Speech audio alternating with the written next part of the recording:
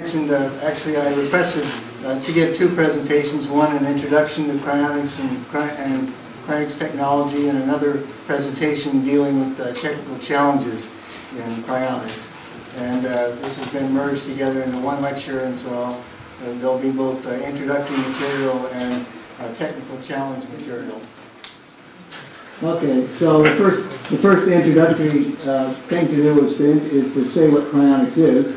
And um, so it's a practice of uh, preserving legally dead humans and animals at cryogenic temperatures in the hopes that future science can restore them to healthy living, uh, as well as rejuvenate them so that they can live hundreds of thousands of years in healthy, youthful condition. So I've underscored and made rejuvenate larger because I think it's really key, uh, really key part of the program. There's not, not uh, really much point for a lot of people in uh, rejuvenating and, and bringing them back after they're um, 80 or 100 years old. And that's one of the large pro- problems a lot of people have with this idea. They, the first thing they think of is, oh, why would I want to be brought back when I'm still old and sick?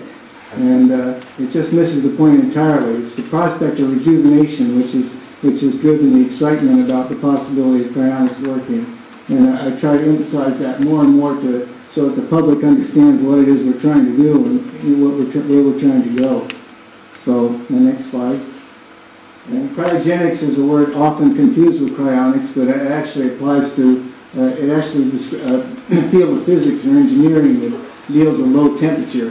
Uh, what low temperature, what that low temperature is, uh, uh, it varies. Some definitions say below 100 degrees Celsius, some say below 150, sometimes they say below 100 Kelvin. Anyway, it's very low temperatures. It's, it's, uh, it's related to cryonics, but it certainly isn't cryonics. Next slide. So um, we're, we're expecting and hoping that future medicine will, is going to be able to cure every disease, and uh, as well as rejuvenate people. And so cryonics is going to be the ambulance we, we uh, uh, take to the future, and uh, so we call the people in that ambulance patients. And um, uh, I've emphasized rejuvenation over, but over and over, but it may take many decades before we have rejuvenation, and um, people may die before that time. So that's why we need the ambulance. And uh, there's also some damage in the cryopreservation process that's going to need to be fixed. So cryonics is really based, uh, people say cryonics isn't science, and to that extent it's true. It's not science. You can't say something is science when it's based on things that don't currently exist. Uh, but it's very reasonable to believe that uh, the repair technologies uh, that we require will exist, and that rejuvenation will happen, and we'll be able to uh, re- repair a lot of uh, the damage that's happening. Next slide. Um, another key aspect of cryonics is the, is the cooling aspect. Uh, we, we know that food can be preserved in a refrigerator or a freezer. Uh, so uh, the lower the temperature, the better the preservation. Uh, children who fall in cold water have survived over an hour of cardiac arrest with complete neurological recovery. Um, so that's a, another example of preservation. Next slide. Um, the decomposition is partly due to chemical, biochemical reactions, and they're typically enzyme catalyzed. And um, uh, cooling can slow these reactions, and, and the, the extent to which they're slowed is determined by the Arrhenius equation. Next slide. The Arrhenius equation uh, it tells us that uh, at uh, zero degrees Celsius, um, a reaction will go about 1 18th this time as fast as it will go at uh, 37 at body temperature. Uh, or stated another way, uh, the reaction goes uh, 18 times faster, 20 times faster at body temperature than it does at, at ice water temperature. Next slide. And carrying that logic further, you can say the reaction goes 400,000 times faster at body temperature than it does at dry ice uh, sublimation temperature, and 10 to the 28th uh, fast, times faster than it does at uh, liquid nitrogen temperature, or the boiling temperature of liquid nitrogen. And uh, essentially, nothing is happening at all. 10 to the 28th is just, you know, astronomical. Next slide. Um, Water molecules interact by hydrogen bonding primarily. The hydrogens uh, bond, uh, form hydrogen bonds. They aren't covalent bonds with the oxygens. And uh, the, the natural tendency of water molecules is to arrange themselves in a tetrahedron um, uh, with these uh, hydrogen bonds. Next slide. And um, so, um, but in, in the in the water in the water phase, uh, the, the tetrahedron uh, can't be easily uh, um, formed, and so the water molecules sort of jostle around and next to each other. But when you form ice, uh, they form this very nice tetrahedron crystal lattice, and uh, that that this this uh, occupies nine percent greater volume than the liquid form does, um, which uh, can be a source of damage. Next slide. Uh, damage by mechanical crushing uh, from the freezing damage from the ice is, is a major part of the problem that ice causes. But there's also osmotic damage, electrolyte damage, and maybe even uh, dehydration damage. So we want to avoid ice formation if we possibly can. Next slide. Um, by analogy, um, quartz, silicon dioxide, actually arranges itself in a similar sort of tetrahedron uh, with silicon in the middle and four, four oxygens around. And uh, so that's that's an example of quartz, the quartz crystal. Next slide. But uh, if you get can get some sodium ions uh, in, the, in between that uh, lattice in the, into the crystal, uh, you end up with an amorphous form of quartz. And that's exactly what we have in our window panes and our, our drinking, uh, our, our vessels for drinking, but, um, for drink, uh, beverages, beverage vessels. Um, anyway, glass, the glass that we're familiar with is, is uh, quartz with uh, um, soda lime and, and calcium oxide that's breaking up this uh, regular crystal formation. Next slide. Uh, so that's so the window panes are made, made of and and uh, be- containers for be- beverages are typically made of this soda lime glass. So, uh, it's not a crystal, and um, if you've ever watched a glass blower, you, you'd see that the hot glass is a, is a syrup that uh, as it as it becomes cool becomes more and more viscous and thick, and finally uh, turns into a solid state. And the solid state is essentially a very very viscous liquid in, in a sense. And uh, if you do that, if you get this vitrification, glass formation, you avoid uh, the problem of the of the tetrahedron formed of the ice and the, the, the mechanical crushing and so forth, uh, as well as the other problems. Uh, next slide. and uh, the way we do this is uh, comparable to what we do with glass. Um, we use antifreeze compounds as cryoprotectant. And they uh, get in the way of the hydrogen bonding by the water molecules by hydrogen bonding and colligative action themselves.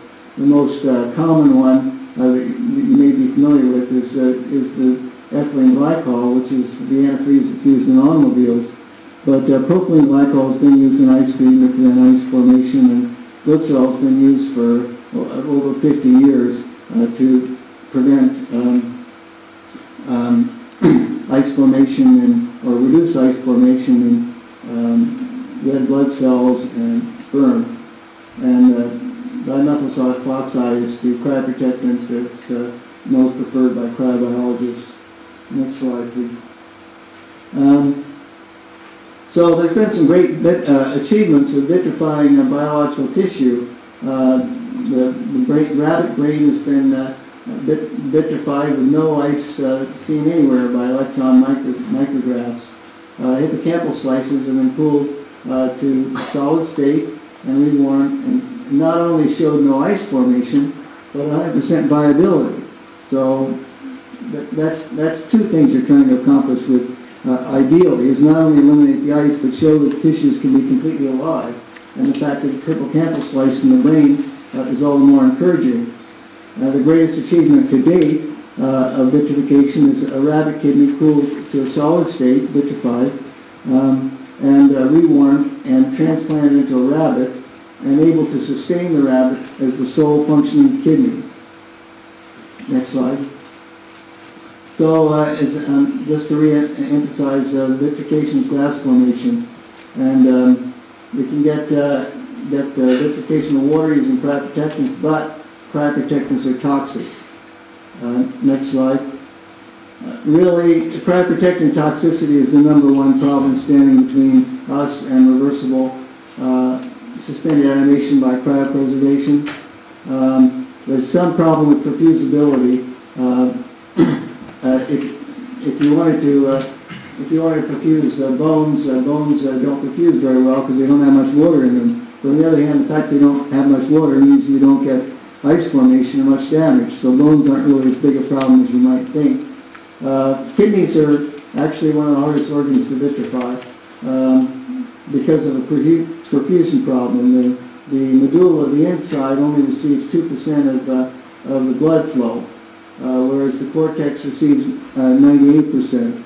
So it's this uneven blood flow in, in the kidney that makes kidneys so hard. And, and all, in a sense, it makes it encouraging, the fact that they have been able to vitrify a kidney. Um, brain is, by contrast, it's actually one of the most easy organs to vitrify.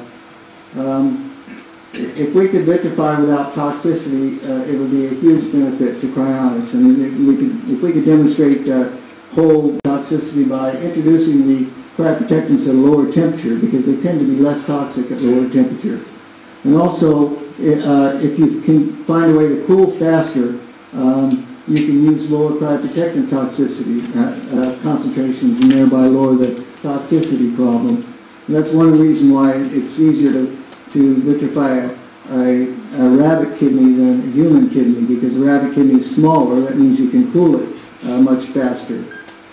Um, so um, another thing about the cryoprotectants is if you use them as single agents, uh, they tend to be more toxic than if you mix them. So we try to get different cryoprotectants and mix them together, and uh, then you can use lower concentrations. And you can add ice blockers, that helps too. Uh, next slide. Um, I guess many people, many of the critics, uh, critics say, oh, that you're just doing this to dead people. So what does that mean? You, know, it doesn't help you. And uh, so what is death? Um, before 1950s, uh, people believed, uh, it was believed that if your heart stops, that's it, you're dead. That's the end of the story. And then it was discovered that people could be brought back to life with CPR or defibrillation if it was applied within six minutes of the time the heart stopped. Um, but there's a, a misconception that, the, that after six minutes the brain is destroyed. That all the neurons die immediately uh, from the ischemic damage. But that's not that's not what happens. It's the blood vessels that are damaged after six minutes, not the not the uh, brain cells. And if you can't, if nothing can flow through the blood vessels properly, uh, no wonder you can't revive the person after six minutes. Next slide. So it actually, uh, in 1976, Peter Safaris showed that uh, he could go back beyond the so-called six-minute limit. Uh, he could perfuse dogs. Uh, uh, dogs survived uh, 12 minutes of cardiac arrest just by some manipulations to what he was using, perfusing with. Elevating the arterial pressure with epinephrine, using heparin, little hemodilution dilution with dextran 40. And uh, just by increasing cerebral per- perfusion pressure alone, uh, the six-minute limit has been extended to 12 minutes. Next slide.